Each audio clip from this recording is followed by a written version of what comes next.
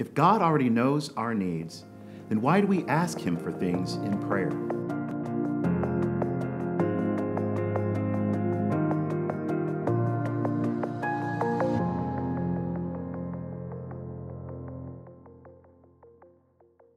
Hi, I'm Father Kevin Zubel, a Redemptorist missionary serving in the Diocese of Baton Rouge.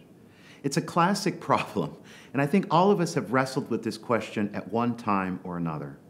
What is the point of prayer if God already knows everything about us? In fact, if, if God knows more about us than we know about ourselves, then why do we turn to Him in prayer?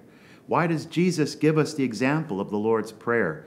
We're called to, to give thanks and to and to ask Him for our daily bread when He already knows our needs. I had a good friend who uh, is not a believer, in fact, is, considers herself an atheist, and she once challenged me on that when we're talking about prayer. That's one thing she's never understood about me as a person of faith. She says, I don't get prayer. It seems like this system of, of closed logic that you can explain everything away. And you can say, well, you ask God for something, and if it happens, then you say, well, my prayer worked. Or if you ask God for something and, and it doesn't come true, then you say, well, I guess that's how God answered my prayer. She says, you're exactly where you were before. so what, what does, what's the point of prayer?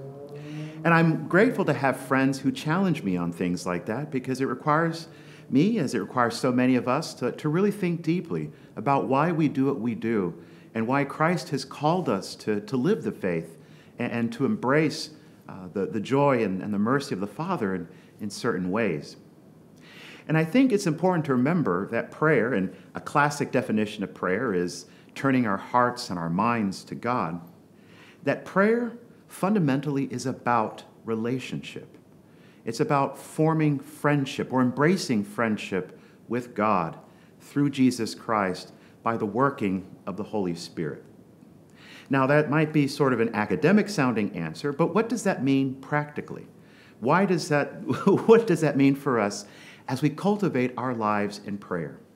Well, I think it invites us to think on our own friendships.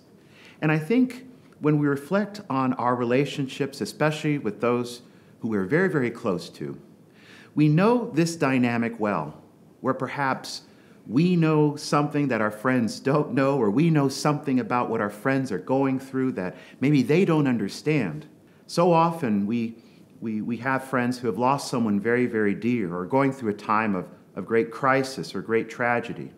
And maybe by our own experience or by our own faith conviction, we have every confidence that they will laugh again, that they will see better days. But you know, sometimes in the rawness of the moment, it's not appropriate to, to talk about that. It's not appropriate to say, you know, I'm so sorry you lost your spouse, and I know this is very, very difficult, but give it about a month and you know, it'll be, you'll be laughing again. You'll, you'll, you'll be having a good time again. Nobody wants to hear that in the midst of their grief.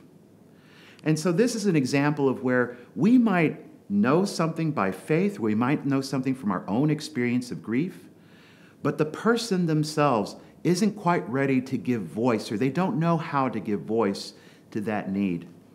And so we become good friends simply by listening to them or sometimes even just sitting with them in the silence.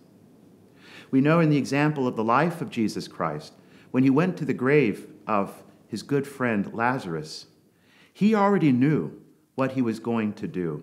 He already knew the situation and he already knew that he was going to call him from death back into life. And yet he still waited for Martha and Mary and the other friends of Lazarus to tell him what had happened to Lazarus. Jesus needed to know what was in their hearts. Jesus needed to know how they were dealing with the grief and the confusion. And only after hearing them was he able to, to target his message and, and to do his work in a way that helped help them understand what he meant when he said, I am the resurrection and the life. We see it again with Jesus on the road to Emmaus, where he listens to the two, to the two disciples as they, as they express their grief, as they express their confusion. And only when he's heard them does he know how to respond to them in a way that will make sense to them in a way that really speaks to their specific need. And so we can look to Jesus as a friend, not just because it's, it's something that gives us comfort, but because this is the relationship Christ Himself has called us to. In the 15th chapter of, of the Gospel of John, we hear Jesus tell His disciples, I no longer call you slaves, but friends, because slaves do not know what their master is doing. And so, because we've had an encounter with the living Christ, we have this friendship that He has invited us into. We can have this confidence that we can turn to Him in prayer. But the prayer itself reveals how we are dealing with a question, how we are dealing with confusion, how we are dealing with grief.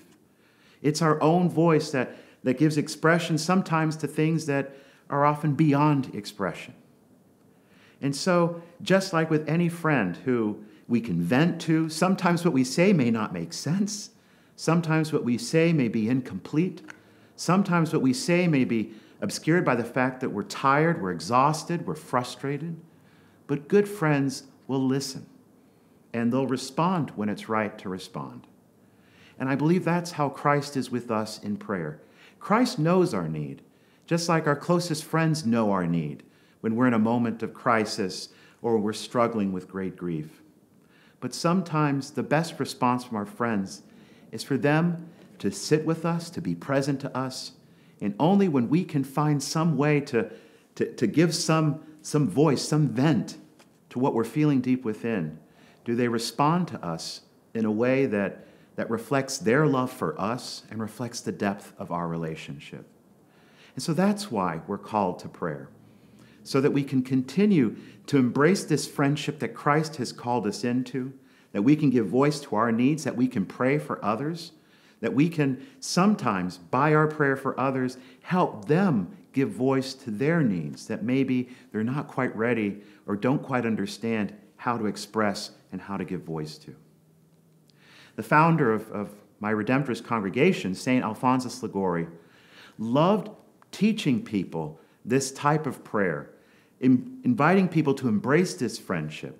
In one of his classic works called How to Converse Continually and Familiarly with God, St. Alphonsus offers people a very practical way of drawing on this relationship and, and, and embracing prayer as a way of giving voice to needs that perhaps Christ already knows, but in a way that helps us prepare to receive the answer that he gives us. And he opens this with a passage that, if you ask most Redemptorists, is probably our favorite passage from the works of St. Alphonsus, when he says to the people that paradise for God is the human heart.